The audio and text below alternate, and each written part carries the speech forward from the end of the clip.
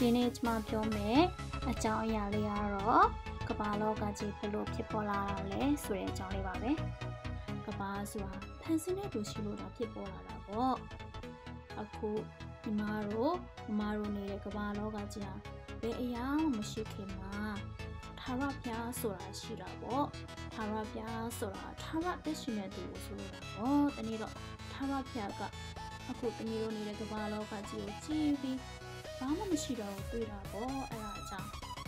ထာဝရဘုရားကကောင်းကင်ရဲ့မြေကြီးကိုဖန်ဆင်းဆောက်ပြတာပေါ့နောက်ပြီးသူနဲ့သူအလိုလုံးတဲ့ဝိညာဉ်တော်ဆိုတာလည်းပါလာတာပေါ့ဝိညာဉ်တော်ကလည်းရေမြင့်တဲ့ပြင်ပေါ်မှာလှူရှားစားပြတယ်တဲ့နောက်ပြီးဘုရားသခင်ကပထမဆုံးနေမှာတော့အလင်းနဲ့မောင်မကိုပိုင်းခြားခွဲထားတော်မူတဲ့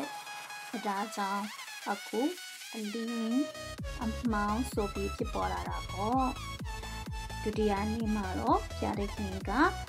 မောကောင်းကင်နဲ့ရေကိုပိုင်းခြားတော်မူတဲ့တတိယနေ့မှာတော့ဘုရားသခင်ကကုန်းကိုမြေကြီးဆိုပြီးမှဒီအခါကျလို့ရှိရင်ပင်လယ်ကိုဖန်ဆင်းတော်မူတဲ့မြေပေါ်မှာတမီးတို့အခုတွေ့နေရတယ်ပန်းပင်မြစ်ပင်စပါ တစ်ပင်အမျိုးမျိုးကိုပေါက်စေရန်မင်ပြီးတော်မူတဲ့လေးရက်မြောက်နေ့မှာတော့ဖျားတဲ့ခင်ကနေနဲ့လောက်ကိုဖန်ဆင်းတော်မူတဲ့နေဟာလင်းပြီးအဲ့ဒီအချိန်မှာပဲအလုံးလို့ရမယ်ဆိုပြီးလူတိုင်းကတတ်မှတ်ကြတာပေါ့လာလာနဲ့ကျဲကျဲကိုလည်းညညဖက်မှာရှိစေဖို့အတွက်အလင်းကိုပြည့်စေဖို့အတွက်ဖန်ဆင်းတော်မူတာပေါ့ အဲဒါကြောင့်အခုသမီးတို့ညဖက်မှာတော့မယ်ဆိုလို့ရှိရင်ညနဲ့လာနဲ့ကျဲကိုမြင်တွေ့နေရတာပေါ့ငါရဲ့မြောင်နေမှာတော့ကြားတဲ့ခင်ကကောင်းကင်မှာပြန်သက်တဲ့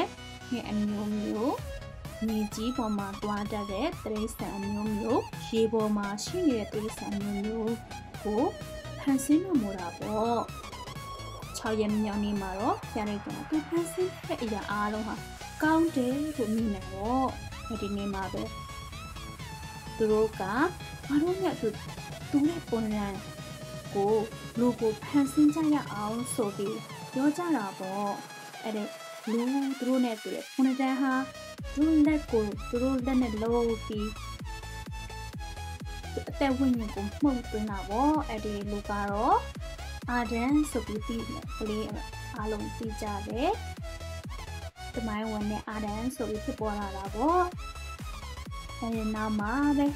အာဒန်ကိုအိမ်မောကြစေပြီးသူရဲ့အာဒန်ရဲ့နိုင်ရိုးကိုယူပြီးလူမိန်းမဆိုတဲ့အေဝါကိုဖန်ဆင်းတာပေါ့အဲ့ဒါကြောင့်သမီးတို့ဟာဘယ်လိုမျိုးလို့ဆိုအသားရောင်ဘယ်လိုပဲခွဲခြားနေပါစေပေတော့မအားမငယ်ပါနဲ့တင်ဟာအမေသားသမီး သားသမီးတို့ဟာဖျားတဲ့ခင်ပုံဆက်တယ်